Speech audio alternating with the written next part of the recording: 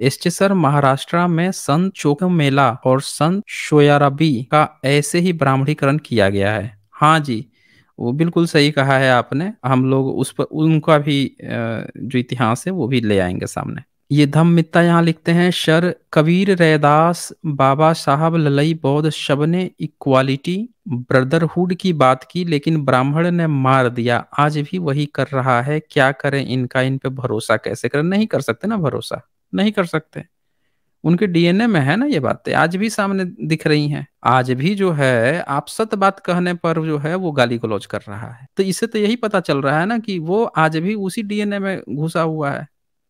वही उसके तेवर हैं। सोशल जस्टिस जो है, वो क्या लिखते हैं? अडानी का असली दुश्मन बागेश्वर धाम वाला है, क्योंकि सब कुछ जानते हुए भी नहीं बताया कि अडानी कब डूबने वाला है। वार पाखंड जय संविधान।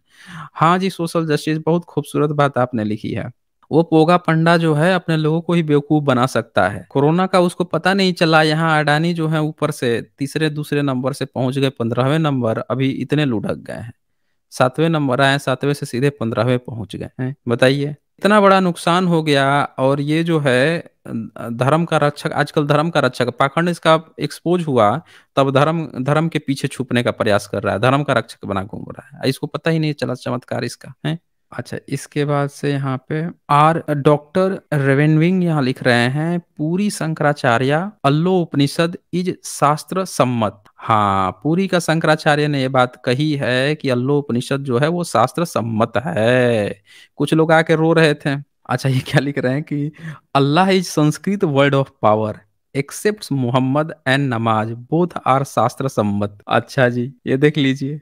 पुरी का जो वो है, शंकराचार्य जो है, वो अल्लाह उपनिषद में, उसको संस्कृत में अल्लाह शब्द इस्तेमाल है। अब संस्कृत में बताइए, डिक्शनरी उनके खोलिए ना संस्कृत की, कहीं पे अल्लाह मिलेगा? अल्लाह भी इनको एक्सेप्ट हो गया। अब जैसे ताड़ना का मतलब ये शिक्षा बता रहे हैं, वैसे ही अल्लाह का मतलब पावर हो गया। वाह रे वाह वाह।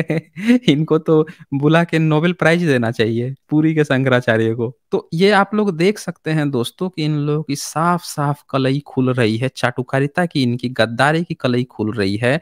और ये जो है, बहुजन समाज को बताते आए थे, ये बता रहे थे कि ये लोग क्या करते थे। देश गुलाम हुआ तो ये लोग क्या कर रहे थे? ये बता रहे थे। सच्चाई ये है दोस्तों कि ये देश को मैं बार बार कहते आया हूँ कि देश को इन्हीं लोगों ने गुलाम बनवाया है।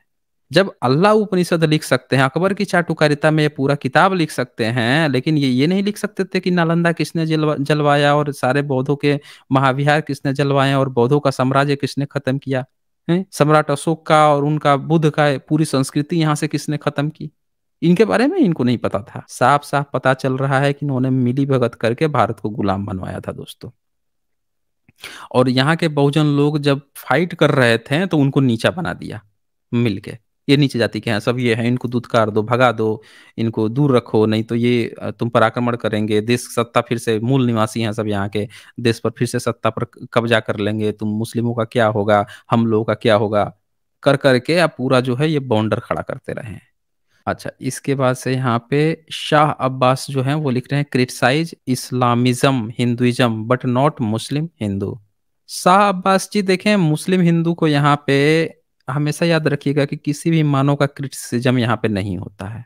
किसी भी इंसान का जो मानव है, जो अपने को मानव मानता है, उसको हम लोग क्रिटिसाइज नहीं करते हैं, उसको भाई मानते हैं ना। इंसान है, हम भी इंसान हैं। लेकिन जो धर्म लेके आएगा धर्म के आधार पर हमसे भेदभाव करता है तो उसका तो क्रिटिसाइज होगा वो। वो इंसान नहीं रहा ना फिर, वो उस जाति का हो गया ना, उस धर्म का हो गया। तो हम लोग तो हमेशा स्वागत करते हैं कि जो धर्म विहीन है, जो जो भी धर्म से बाहर निकलकर उससे ऊपर होकर सोच रहा है तो हमने हमेशा उसका स्वागत किया है। तो हम लोग जो हैं अच्छा हिंदू जो आपने कहा है, भारत में कोई हिंदू हिंदू है नहीं। यहाँ का पूरा ऑफिशियल गजट फजट सब चीज़ उठा कर देख लीजिए। यहाँ पे हिंदू हिंदुइज्म नाम की कोई चीज़ नहीं है। ऑफिशियल हमारे कॉन्स्टिट्यूशन में ये वर्ड नहीं है। हिंदुइज्म तो हमारे कॉन्स्टिट्यूशन में वो क्या नाम है?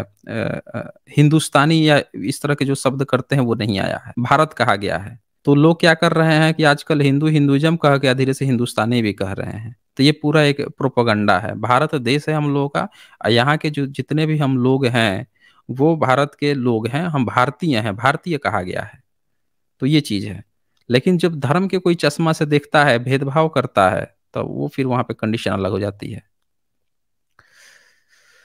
अच्छा चले, आगे बढ़ते हैं। देखें और कौन आए हैं यहाँ पे।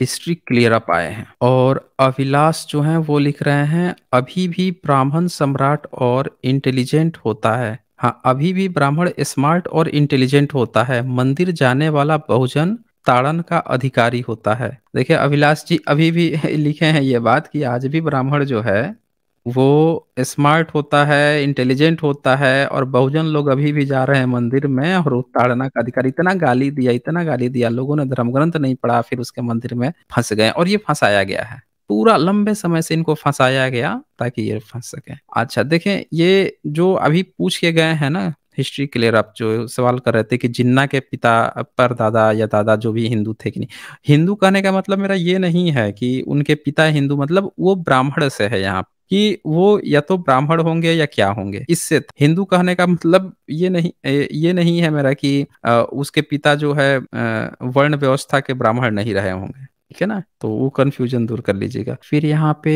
keep religion and politics separate यहाँ लिखते हैं। धर्म भगवान के चक्कर से बाहर आकर सब सर्कस लगता है। हाँ हाँ धर्म भगवान के चक्र से बाहर आकर सब सर्कस लगता है।